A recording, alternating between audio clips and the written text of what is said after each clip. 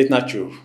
ሰላም ናችሁ? ደህና ናችሁ? እንግዲህ በቃሌ መሰረት ዛሬ ለሁለተኛ ቀን መጥቻለሁኝ። ዛሬ ላወራ የምፈልገው በሰሞኑን በነበረው የትግራይ ሀዘን እና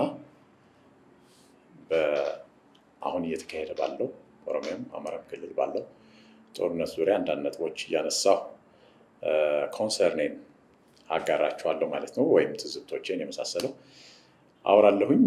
ሀሳብ አስተያየት ካላችሁ በ comment መጻፊያው ላይ ትጽፋላችሁ። አይ ነው አንተ ከምታስበው የተለየ በዚህ መንገድ ሀሳብ አለኝ የምትሉ ካላችሁ ደግሞ የሚቀጥለው ሳምንት ላይ መጥታችሁ ሀሳባችሁን መግለጽ ትችላላችሁ። በ comment መጻፊያው ስር በምን communicate እንደምታደርጉን ኢሜይል እና የመሳሰለው እናስቀምጣለን ማለት ነው። እንዴት ሰምታችኋል? በድጋሚ የዛሬው የአንደበት ተናጋሪ ነኝ ማለት ነው። አብረን እንቆይ። በነገራችን ላይ ዝግጅቱን like share like አለማድረግ በነገራችን ላይ like ማድረግ ማለት necessarily ሀሳቡን መውደድ ማለት አይደለም። like ስታደርጉ ለሌሎች እንዲደርስ ምክንያት ትሆናላችሁ ስለሆነ ነው like አድርጉ የምንለው እንጂ በግድ ፕሮግራሜን ውደዱ አይባልም። share ግን ብታደርጉት ጥሩ ነው። ሀሳቡን የሚወድም የማይወድም ሰው አጋሩትና የበኩሉን ሀሳብ ያዋጣል ማለት ነው። በዛ መንገድ ነው የጋራ ፍላጎት መፍጠር የምንችለው። ሰሞኑን ከታዘብኩት የትግራይ ክልል ብሔራዊ የሀዘን ቀን actually ክልላዊ የሀዘን ቀን ልንለው እንችላለን አውጆ ነበረ። መርዶ ለቤተሰቦቻቸው ተነግሮ በጦርነቱ የሞቱ ሰዎች ሀዘን ላይ ትግራይ ነበረች። እንደ ፖለቲካ ልረዳው እችላለሁ።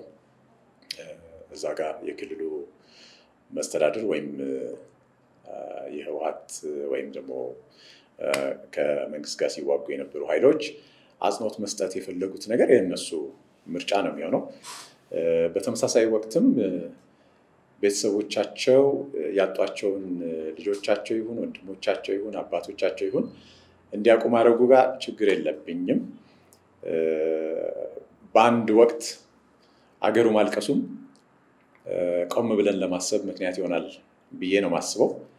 በእኔ እምነት ግን ይሄ ሀዘን የትግራይ ክልል ብቻ ሀዘን አይደለም፣ የአጠቃላይ የኢትዮጵያ ሀዘን ነው። ኢትዮጵያውያን ናቸው በዛኛውም side በዚህኛውም side ሆነው በዚህ ጦርነት ያለቁት።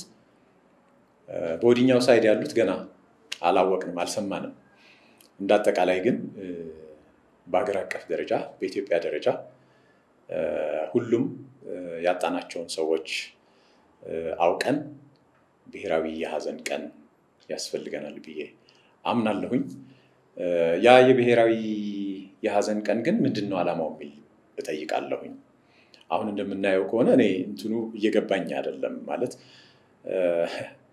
እናቱ ታልቀስ፣ እህቱ ታልቀስ፣ ሚስቱ ታልቀስ፣ ወይም ሴት ሞታ ከሆነ ባሏ ያልቀስ፣ ወንድም እህት፣ ቤተሰብ ያልቀስ፣ ሌላው በሙሉ ዝም ብሎ የፖለቲካ መሸቀጫ ነው የሆነው እና ያሳዝናል። ማለት እስከ ትናንት በሌላ ሳይድ ቆመው በለው ድፋው ሲሉ የነበሩ ሰዎችም የሀዘኑ ተካፋይ የሆነው ማየት በጣም ስላቅ ነው፣ ያሳዝናል። ይህን ለመረዳት እንዴት ይከብደናል።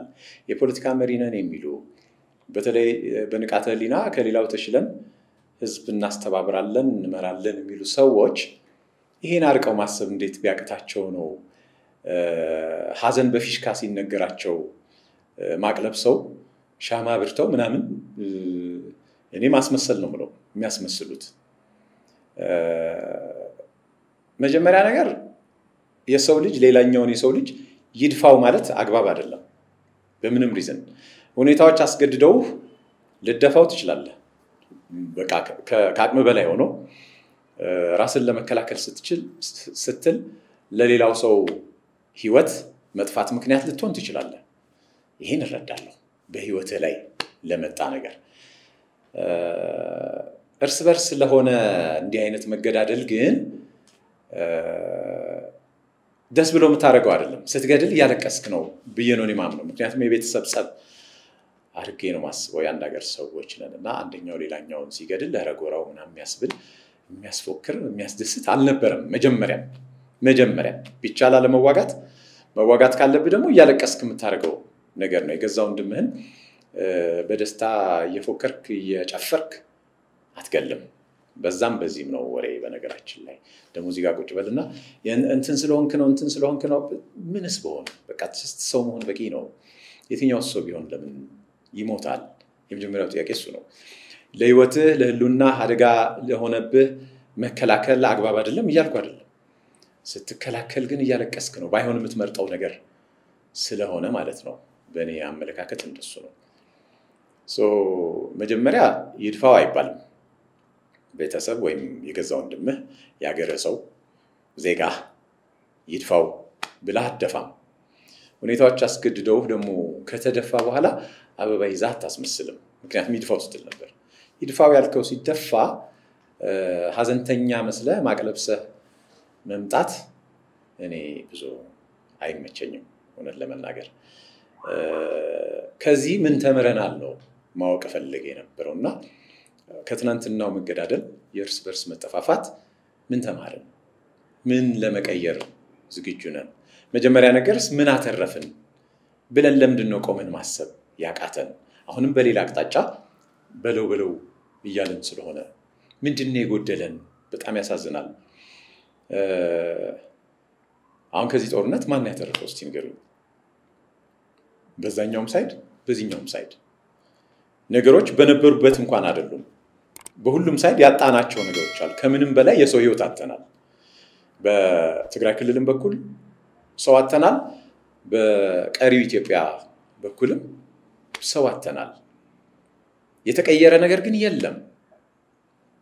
ለምንድን ነበረ ጦርነቱ ብለን ቢያንስ ቀጣዩን ግጭት ቀጣዩን ጦርነት ለማቆም ለምንድን ነው ማሰብ የሚቸግረን? እኔ ለህዝብ ብለህ መቆም አግባብ ነው። ሰዎች ነፃነታቸው፣ ህሉናቸው አደጋ ላይ ሲወድቅ ያንን ለመከላከል እና ህይወታቸውን ለማስቀጠል የትኛውንም አይነት እርምጃ መውሰድ ተገቢ ነው ብዬ ነው ማምነው። ግን ያን ሁሉ ከማድረግ በፊት ሌሎች አማራጮች መቅደም ይችሉ ነበር። ከዚህ ወራሪ አልመጣም። ማናችንም የሌላ ሀገር ዜጋ አይደለንም። በጋራ የምንፈልጋቸውን ነገሮች በመነጋገር እና በመደራደር መሆን ይችሉ ነበር ብዬ ነው ማምነው። ያ አማራጭ እስከ መጨረሻው አልተካሄደበትም ብዬ ነው ማምነው።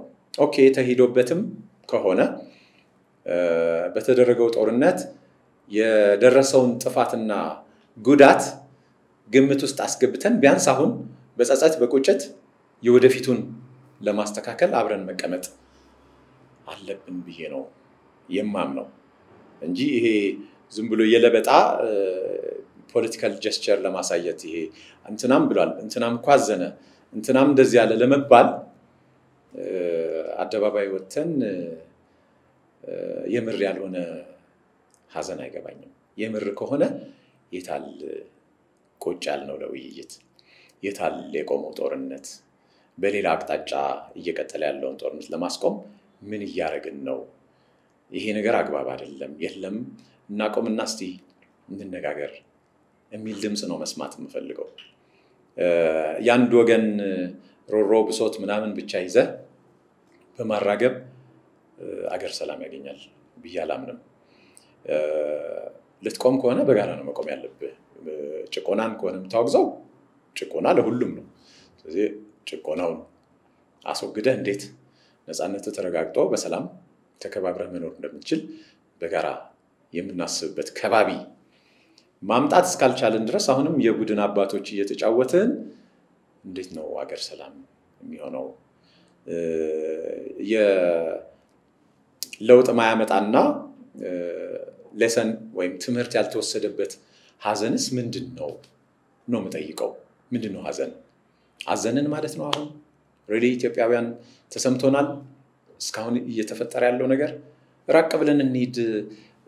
ከስልሳዎቹ ጀምሮ እስካሁን ድረስ ምን ያክል ዜጎቻችን አተናቸዋል? ለማን ነው በግራም በቀኝም ሆነ እታገላለሁ የምትለው? ሪሊ ለህዝብ ከሆነ ለዛ ህዝብ ለመሞቱ፣ ለመጥፋቱ፣ ለመሰደዱ፣ ለመፈናቀሉ፣ ለመሳሰለው ሰበብ በመሆንህ ከየትኛውም ወገን ብትሆን ጸጸት ሊሰማህ ይገባል። ምክንያቱም ሰው መታገል ያለበት ሰው ለማኖር ነው።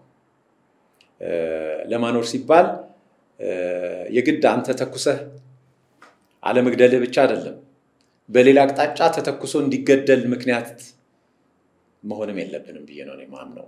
ሁኔታዎች እስኪያመቹ ቢያንስ ለዛ ለምትቆረቆርለት ህዝብ ጥፋት ምክንያት መሆንን አላደንቅም። የኃይል ሚዛንህ ለውጥ ሊያመጣ እንደማይችል እያወቅ በዛም በዚህም እየተተነኳኮስክ ለህዝብ እልቂት ምክንያት መሆን ታጋይነት ነው ብዬም አላምንም። ከይቅርታ ጋር ነው እንትኑን አለማክበር አሁን ሰዎቹ የቆሙለትን ዓላማ ልክ ነው ልክ አይደለም ለማለት አይደለም። እኔ ልክ ነው ልክ አይደለም የምለው እየጠፋ ያለውን ህይወት ነው። ልታኖረው የምትፈልገው ሰው መሳሪያ ተደቅኖበት ትጥቅህን ትፈታለህ አትፈታም ብትባል ሪሊ ለዛ ሰው የምታስብ ከሆነ ትጥቅህን ታወርዳለህ እንጂ የራሱ ጉዳይ ብለህ አትቀጥልም። መስዋዕትነት ነው ያለ ነው አትልም። ልታኖረው የምትፈልገውን ሰው እሱ እኮ አላሰበም፣ መስዋዕት ለመሆን አልፈለገም። ችግርም ውስጥ ቢሆን ታግሶ ቀኑ እስኪያልፍ እየኖረ ነው ያለው። ግን ተጨማሪ ጫና ለመፍጠር መስዋዕትነት ነው ያለ ነው ምናምን ትክክል አይመስለኝም። በተለይ ጦርነት ከሚካሄድባቸው አካባቢዎች ርቀው ያሉ ሰዎች ሲያደርጉት ደግሞ በጣም ደስ አይልም። ተነስት፣ ታጠቅ፣ ዝመት ካልክ ከፊት የምትገኘው አንተ መሆን አለብህ ብዬ ነው ማምነው። ምክንያቱ ልክ ይሁንም ልክም አይሆን የያዝከው cause ልክ ቢሆንም ባይሆንም ዓላማህ ልክ አይደለም ልል እችላለሁ፣ ልክ ነው ልል እችላለሁ። እሱ ሌላ ጥያቄ ነው። አክብሮት ግን ይኖረኛል ከፊት ሆነህ ከሆነ በለው ታጠቅ የምትለው ከኋላ ሆነ የራስህን ህይወት በጥንቃቄ ይዘህ ራስህን እየጠበክና እየተጠበክ በድሆች እና አማራጭ በሌላቸው ጦርነትን ባላሰቡ፣ ባልፈለጉ፣ ባልወደዱ ሰዎች ህይወት ላይ መፍረድ ግን ተገቢ ነው ብዬ ስለዚህ ነጥቤ ምንድን ነው? ይሄ ጦርነት መቆም አለበት። ምንም አይነት ምክንያት ጦርነትን ጀስቲፋይ ያደርጋል ብዬ አላምንም። በጭንቅላት የሚሰሩ ነገሮች ሲያንሱን ነው ወደ ድብድብ ወደ መገዳደል የምንገባው ብዬ የማምነው። ከግለሰብ አንስተህ እስከ አገር ደረጃ ሀሳብ ሲያጥርህ ነው መገዳደል የሚኖረው። ሀሳብ ደግሞ ሊያጠር አይችልም። በደንብ ባሰብክ ቁጥር የተሻለ ሀሳብ፣ የተሻለ አማራጭ፣ ሁልጊዜም የተሻለ አስተሳሰብ እና የተሻለ አሰራር አለ ብዬ ነው እኔ ማምነው። ይሄ የመጨረሻ ሀሳብ ነው የሚባል የለም። ይሄ የመጨረሻ ተግባር ነው የሚባልም የለም። ስለዚህ ያልተሞከሩ ብዙ ነገሮች አሉ ብዬ ነው የማስበው። በተለይ ደግሞ በዚህ በኢትዮጵያ ሁኔታ በተቻለ መጠን ይሄ ጦርነት መቆም አለበት። ስለ እውነት ለሆነ አካል ነፃነት ቆመን ከሆነ እና ያ የቆምንለት በትክክል ህዝብ ከሆነ በትክክል የህዝብ ድጋፍ ካለን ከየትኛውም ወገን ብንሆን ስትፈልግ ስልጣን ላይ ያለው ፓርቲም ይሁን በተቃዋሚም ጎራ የተሰለፈ ፓርቲ ይሁን ወላ ግንባር ይሁን ምንም አይነት እንቅስቃሴ ህዝብን አምኖ ከተነሳ በሰላማዊ መንገድ ስርዓት መቀየር ይቻላል ብዬ ነው ማምነው። ልትሞት ከሆነም ለካርድ ብትሞት ነው ትክክል ብዬ ማምነው። ዝም ብሎ በግምትና ውክልናህን ባላረጋገጥክበት ሁኔታ እኔ ለንትን ህዝብ ነው እኔ ለንትን ህዝብ ነው እያልክ ከማለቅና ሰው ከማስጨረስ at the end of the day ማሸነፍ ራሱ እኔ እንደማሸነፍ አልቆጥረውም። ለምን ያ ሁሉ ሰው ካለቀ በኋላ ለማን ለህዝብ ነው ብለህ ህዝብ ካስጨረስክ በኋላ መጨረሻ ላይ ስልጣን ላይ ብትወጣስ ትክክል ነው ወይ ነው የእኔ ጥያቄ። ከትናንትና ከሰሜን ኢትዮጵያ ከትግራይ ጦርነት ትምህርት መውሰድ አለብን ብዬ ነው ማምነው። really በካርድ አምነን ህዝብን አምነን መንቀሳቀስ ከተቻለ አሁን ብዙ ጊዜ የሚነሳ ክርክር አለ፣ ይገርመኛል። በኢትዮጵያ ሁኔታ በምርጫ ለውጥ ይመጣል ብለህ ነው ምናምን ይላል። በመንግስት ፈቃድ እኮ አይደለም መንግስት የምትቀይረው። መጀመሪያ አንተ ምን ያህል የህዝቡ ልብ ውስጥ ገብተሃል ነው ጥያቄው። ከዛ ሪሊ በትክክል የህዝቡ ልብ ውስጥ ገብተህ ከሆነ okay፣ ምንድን ነው ሌላው ቀጥሎ የሚያሰጋ? ምርጫው ኮሮጆ ሊሰረቅ ሂደቱ ሊጭበረበር ይችላል ምናምን እኮ ነው። ለእሱ ደግሞ ጭንቅላትን ማሰራት ነው እንዳይጭበረበር። እንደው በጣም primitive የሆነውን ነገር እንኳ ብናስብ ሌላው ጭንቅላታችን አይሰራም ብለን እናስብና የመጨረሻውን አማራጭ እንኳ ብናስብ የምርጫው ዕለት ከኮሮጆው ጋር አብሮ እኮ ያድራል። ያ ደጋፊ ህዝብ እንዳይሰረቅ እንዳይከፈት አብረህ ማደር እኮ ይቻላል። ከዛ በኋላ ፍጥጥ ብሎ ድምፅህ ከተሰረቀ እኔ ከዛ በፊትም ብዙ አማራጭ አለ። ካስፈለገ propose ማድረግ እችላለሁ። እንዴት የማይጭበረበር ምንም ታዛቢ የማያስፈልገው የካርድ system propose ማድረግ እችላለሁ። የሚመለከተው አካል በጠየቀኝ ሰዓት ሁሉ I can propose ከዚህ በፊትም ሻይ ቡና ላይ ተናግሬ አውቃለሁ። ታዛቢ ኖረህ አልኖረህ እንዳይጭበረበር ማድረግ ይቻላል። ካርድ ዋናው ጥያቄ የህዝብ ድጋፍ በትክክል አለ ወይ? የህዝብ ድጋፍ አለኝ ብሎ የሚያምን በራሱ የሚተማመን ወደ ጦርነት ከመሄዱ በፊት የምርጫ አማራጭን ነው መጠቀም አለበት ብዬ ማምን። የቱንም ያህል ጨቋኝና የማይመች ከባቢ ቢሆን understand አሁን እንደዚህ ስናገር የሚባሉትን excuses አውቃቸዋለሁ። እኔ ምክንያት አልወድም። አድርገህ መገኘት ብቻ ነው። ሰበብ ጣትህን መጠቆም ምናምን ማንም ይችላል። የራስን የቤት ስራ በአግባቡ ሳትጨርስ ሌላ ላይ ጣት መጠቆም ቀላል ነው። አንተ ምን አድርገሃል ነው። እነዛ ለምትላቸው ሰበቦች ምን አይነት መፍትሄ ይዘህ ነው ጥያቄው። ምን ያክል በህዝብ ትተማመናለህ? ምን ያክል በራስህ ትተማመናለህ ነው።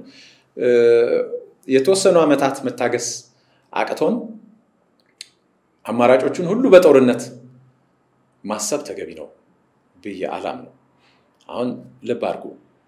ልክ ነው ልክ አይደለም የምለው የተነሳችሁበትን cause አይደለም። በግራም በቀኝም ያላችሁት የእንትና ልክ ነው የእንትና ልክ አይደለም አይደለም። የኔ ሀሳብ እዚህ ጋር ለህዝብ ዳኝነት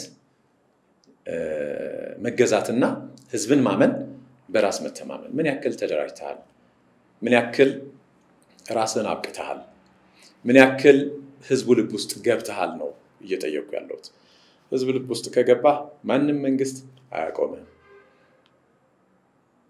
ስለዚህ ራሳችን ላይ ለውጥ ሳናመጣ ለህዝብ እቆማለሁ እያልክ አንተ የማትሞትበትን ጦርነት በተለይ እንደ አንድያውን ግንባር ውስጥ ገብተው ምናምን የሚችሉትን እያደረጉት ያሉት ሰዎች ይሻላሉ እኮ ከዳር ሆኖ እሳቱን የሚቆሰቁስና ከርቀት እፍፍ የሚለውን ግን አድናቂ አይደለሁም። እኔ ጦርነት በምንም መንገድ አልደግፍም። ምንም ጦርነት አያሳምነኝም። እንኳን አይደለም እርስ በርስ ከሌላ የጎረቤት ሀገር ጋር ልዋጋ ነው ብትለኝ አያሳምነኝም። ሌሎች ዓለም እኮ በህግ በስርዓት ያለ ነው። አይኖ ህግና ስርዓት በተለያየ ምክንያት ይደፈጠጣል፣ ይጣሳል ምናምን። ጊዜ ቆጥሮ ግን ፍትህ የግድ ይሆናል። ያን ጊዜ ለውጡን ማየት የሚችሉ በህይወት የቆዩ ብቻ ናቸው። ሰዎች ካለፉና ከሞቱ በኋላ ማንም ዞር ብሎ የሚያስታውሳቸው የለም።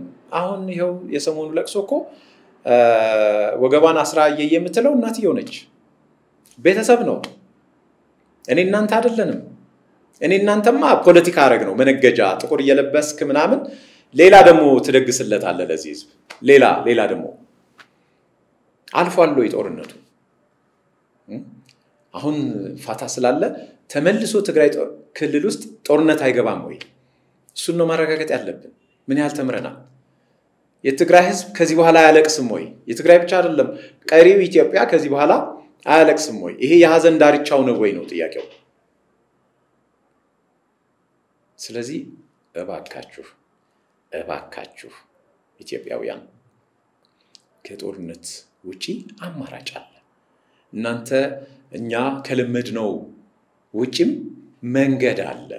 really ፖለቲካውን እንመራለን የምትሉ ሰዎች ግራና ቀኝ እንትናን እንትናን ከማናፈስ ይልቅ እስቲ መጀመሪያ ቀጣዩ ሰው እንደማይሞት አገሩ ሰላም እንዲሆን በጋራ ቆሙ። ይሄ ሁሉ የፖለቲካ ፓርቲ ተቃዋሚ ነኝ የሚል ሌላ ቢቀር በዓላማ ተለያዩ፣ ፕሮግራማችሁ የተለያየ ይሁን፣ ጦርነት በማቆም ላይ እንዴት ነው አንድ መሆን የሚያቅታችሁ? አንድ የጦርነት ውስጥ ከገባህ በኋላ ለአንዱ የህልውና ጉዳይ ለአንዱ የቅብጠት ጉዳይ ሊሆን አይችልም። ጦርነት ከገባህ በኋላ በሁለቱም ሳይድ የሚተኮሰው ይገላል ጥይቱ። ስለዚህ ለሁለቱም የህልውና ጉዳይ ነው። እዚህ መሀል የሚቆም አካል ያስፈልጋል። ሁለቱ እየተታኮሱ ኧረ በቃ እንደክሞናል እናቁም ሊባባሉ አይችሉም። ሌሎቹ ኢትዮጵያውያን ምን እየሰራን ነው? በቃችሁ የሚል ያስፈልጋል። ምናልባት ደክሟቸው ጉልበታቸው ዝሎ እንኳ ቢሆን እኮ ምክንያት ያስፈልጋቸዋል። የሆነ መሀላቸው ቆሞ በገላጋይ የሚል ኃይል ያስፈልጋል። አለበለዛ የፕራይድ ጉዳይ አለ፣ እልህ አለ፣ የህሉና ስጋት አለ፣ ሊቆም አይችልም። በመሀል ማን ነው የሚታመሰው? ህዝቡ ነው። እና የዛሬ መልእክቴ አንደኛ ሀዘናችን ከልብ ይሁን፣ የሀዘን ዳርቻ እንዲሆን ቀጣይ የሚያሳዝንን መገዳደል እንዳይኖር አብረን እንቆም። ሁለተኛ አሁን ይሄ ተካሄደ ያለው ጦርነት በሆነ መንገድ መቆም አለበት። ቀጣይ ሰው እንዳይሞት እንትን አሸንፎ እንትን አሸንፎ አይደለም እኔ። ምክንያቱም የትኛውም ቢያሸንፍ አገር ሰላም አይሆንም። በመገዳደል አገር ሰላም ሆኖ አያውቅም የትም ዓለም። በመነጋገር በመደራደር ሰላም ሊመጣ ይችላል። የቆየ ሰው ለውጥ ሊያመጣ ይችላል። ህዝብ እያለቀ ለህዝብ ብዬ ነው የምዋጋው ትርጉም ያለው ዓላማ አይደለም እና እባካችሁ ይብቃን። በዚህ ሀገር እንታወቃለን ብላችሁ የምታስቡ ወይም የምትታወቁ ሁለቱም አይነት ሰዎች አዋቂ ነን ብላችሁ የምታስቡ ወይም አዋቂ ተብላችሁ የምትታሰቡ መሪ ነን ብላችሁ የምታስቡ ወይም መሪ ተደርጋችሁ የምትታሰቡ እስቲ ሰብሰብ በሉና መላ መላ ይምጣ፣ ይሄ ጦርነት ይቆም።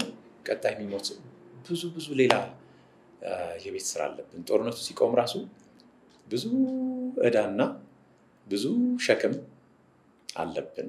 ተስማምተን ራሱ በቀላሉ ማንወጣው ብዬ ነው ማምነው። የዛሬ መልእክቴ ይሄ ነው። እንደዚሁ አንዳንድ ርዕስ እያስኩ እየመጣሁ በሌሎች ዝግጅቶችም ሀሳቤን አንጸባርቃለሁ። ከእኔ በተቃራኒ ሀሳብ ያላችሁም ይሁን የተለየ ሀሳብ ያላችሁ ወይም ተመሳሳይ ሀሳብ ያላችሁ እኔም መናገር እንፈልገዋለን የምትሉ ሰዎች ካላችሁ ያለ ልዩነት አንደበት ላይ እናስተናግዳለን። እኔ ሁሌም በሚያግባቡን አንድ በሚያደርጉን ጉዳዮች ላይ ብቻ ነው የኔ አቋም የሚሆነው። ለመለያየት እና ለማለያየት አልሰራም። ለመገዳደል እና ለማገዳደል አልቆምም። ለሰላምና ለሰላም በመከባበር አምናለሁ። የማልወደውንም ሀሳብ አከብራለሁ። ስለዚህ መከባበር ለነፃነት፣ ለእኩልነትና ለሰላም በሚለው መፈክሬ ነው የዛሬውን ዝግጅት የምዘጋው። እስከሚቀጥለው ሳምንት አገራችንን ሰላም ያርግልን። አሁን የምንሰማቸው አሳዛኝ ነገሮች ቀርተው ቢያንስ እንደው የተረጋጋ ከባቢ እንዲኖረን እመኛለሁኝ። በያላችሁበት ሰላማችሁ ይብዛ። ስለ ሰላም አስቡ። አመሰግናለሁ ስላዳመጣችሁ።